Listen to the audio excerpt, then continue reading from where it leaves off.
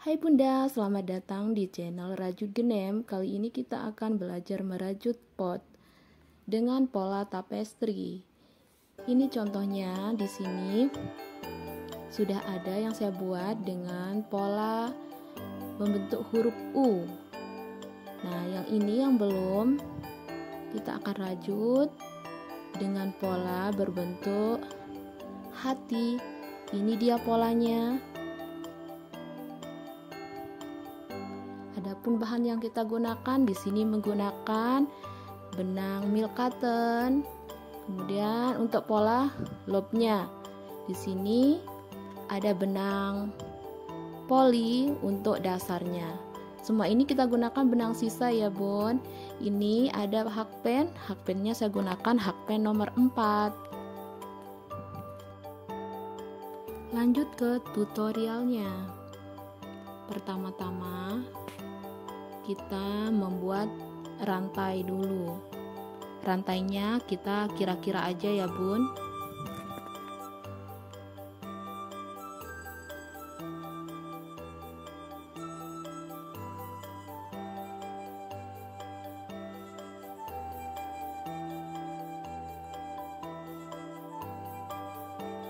Setelah membuat rantai, kemudian rantainya kita coba ukurkan pada potnya.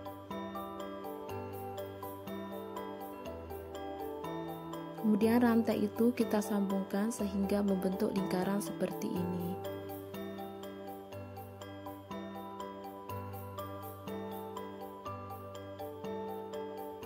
Lanjut menggunakan tusuk SC 2 putaran. Ini kita sudah memasuki polanya. Ini sudah kita sudah mau masuk ke baris keempat.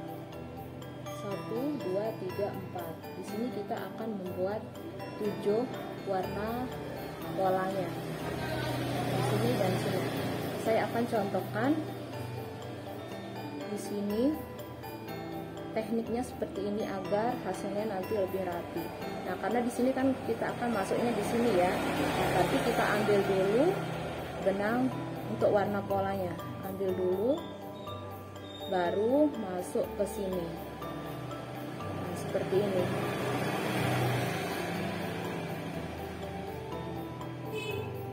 Dan dilanjutkan sesuai dengan jumlah pola pada baris ini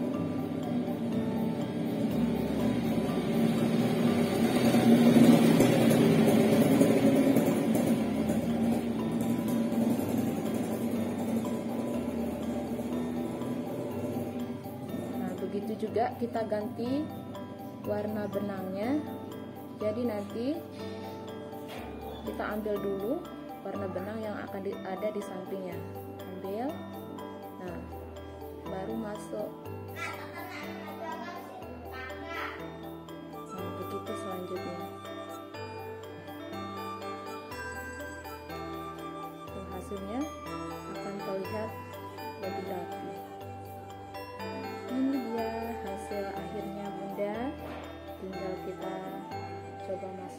potnya.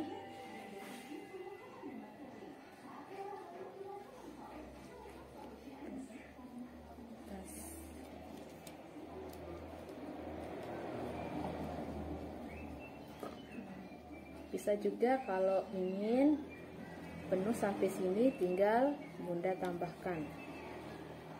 Nah ini dia. Cantik kan daripada benangnya benang-benang sisa itu dibuang sia-sia kita manfaatkan. Ini enggak apa-apa kan benangnya campur-campur tapi hasilnya cantik. Oke terima kasih sudah menonton video ini. Sampai jumpa di tutorial tutorial berikutnya. Bye bye